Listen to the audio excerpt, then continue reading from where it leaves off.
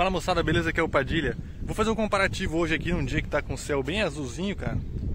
Olha só a correção de azul que esse, que esse celular faz. Ele tá na câmera frontal aqui, ele tá gravando em 1080 por 60.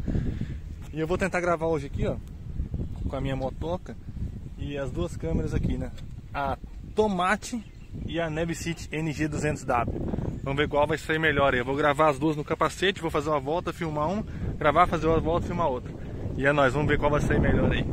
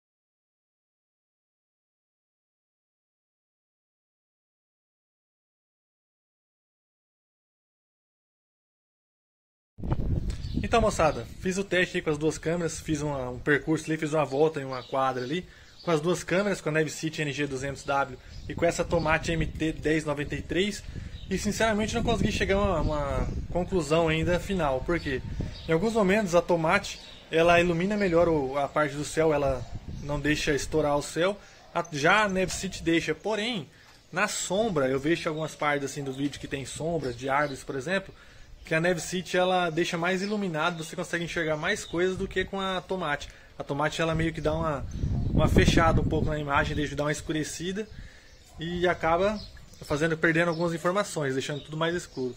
é com vocês aí, né, gurizada? Vocês sabem aí, por exemplo, quem quer começar agora um motovlog ou algo parecido, é, são câmeras baratas. A Neve City, na verdade, não está mais vendendo, né? Eu tentei entrar em contato lá com o pessoal da Neve City, mas até agora não me responderam.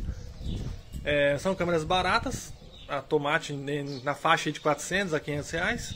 E a Neve City eu paguei 119 reais. Não sei quanto estaria hoje, talvez uns 200 reais, mas ainda é uma câmerazinha que compensa. Para filmar tudo em 1080 por 60, né? Eu não fiz o teste nelas com 4K porque o arquivo fica muito pesado.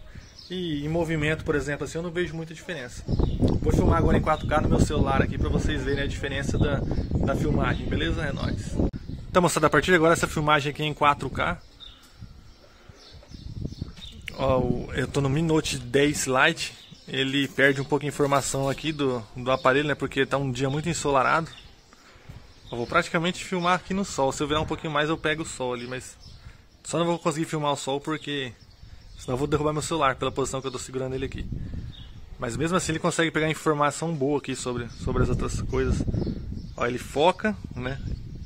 E desfoca no fundo ou ao contrário, foca no fundo e desfoca na frente uma câmerazinha dessa aqui para filmar mais ou menos nessa, nesse estilo aqui, talvez só aquela Osmo, né, da é, DJI, DJ, DJI, sei lá como fala, ou uma GoPro 9, né, mas ainda tá muito caro.